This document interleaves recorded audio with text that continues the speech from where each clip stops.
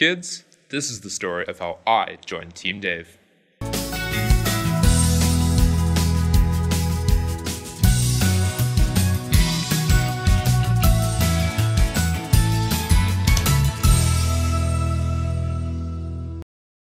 Now, you see, kids, when I first heard the announcement about a robotics team forming at St. David's, I scoffed and I didn't really think much about it until two weeks later when the teacher representative approached me about joining.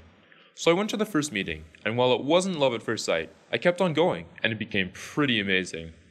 There were people like me interested in writing, making things with my hands, and programming. Before long, I realized FIRST was perfect for me.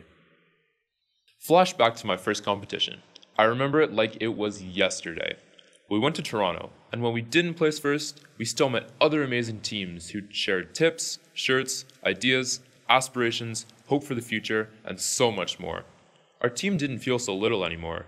It felt like we were one big team of people working together to achieve the impossible. We were builders, writers, and programmers. We were the future, and soon you will be too. You kids remember your FLL competition back in December?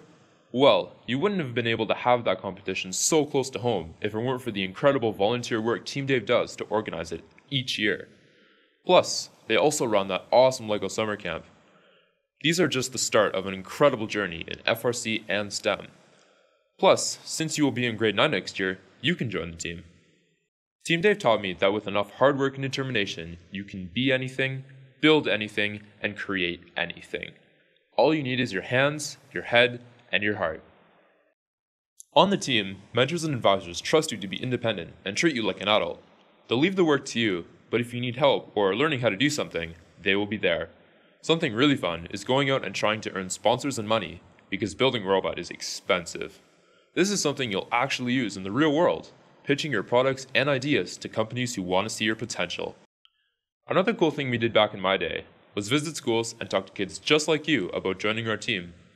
Me and uncles Danny and Max went to all the local elementary schools in the area to demo our robots and show kids how fun and impressive FRC is. But back to my story. Years of being on the team gave me many accomplishments on my resume and made my university application really stand out.